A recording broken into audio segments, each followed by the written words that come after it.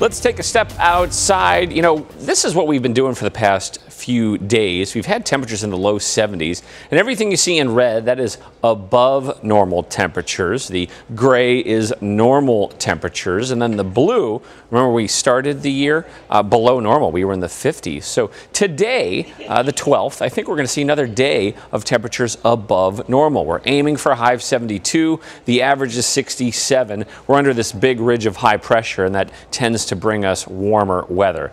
Not so warm right now, though, up in Flagstaff. 12 degrees there, 30 in Pinetop, Sedona, 41 in Lake Havasu City in the 40s. There's a nice live look at Gilbert right now. There's the water tower lit up blue. As far as temperatures go, we are hanging out in the 40s in Gilbert, 40s at Luke and Goodyear.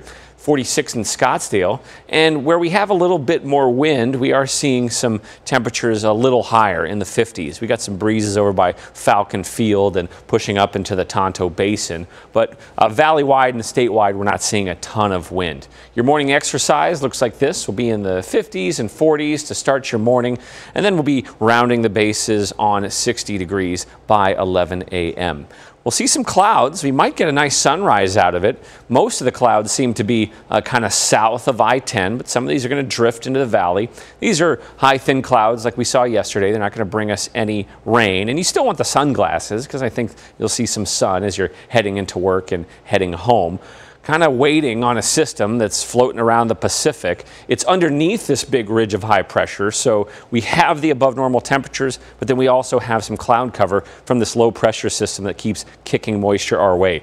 The rain outlook does not look promising. Could see a chance for some rain on Saturday, but the chances are pretty meager. Breezy conditions once again in Bullhead City, sustained winds around 15, 20 miles per hour. But elsewhere, we're not going to see a whole lot of wind out there. Getting into Thursday, we'll relax the winds in Bullhead City and along the lower Colorado River, and that'll be the story statewide. Highs today 48 in Flagstaff, 61 in Prescott, 62 in Payson, 49 in Show Low. Seven day forecast shows us hanging out in the 70s for today and tomorrow and Friday. Here's your rain chance for Saturday. It's about 10 to 20 percent, which is not great. 71 for the high on Saturday, 70 for Sunday. Uh, Martin Luther King Jr. Day is on Monday, uh, and so if you're attending any uh, parades or any of the events for that, uh, we're going to have pretty good weather. I don't think any major issues out there. I say yeah. it looks so nice. Love oh, that. Yes. Lieutenant uh, Lieutenant Dan approved. Lieutenant Rain. Light rain. Light rain. Thanks, Ian. Thanks, Ian.